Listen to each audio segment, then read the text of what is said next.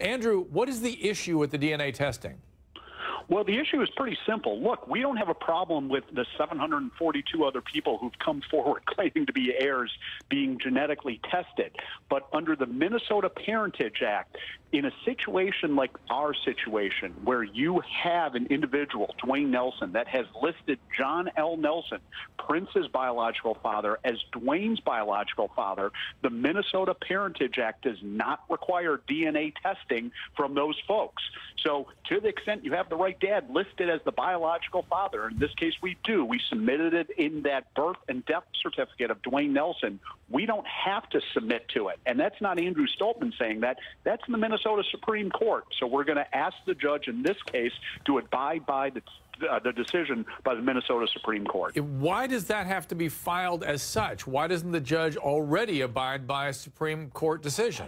Well, we're simply telling him, uh, basically reminding him that this is his requirement. And, and, look, judges can decide what they want to decide, but given we have controlling law, uh, you know, we think we're standing on pretty solid ground on this issue.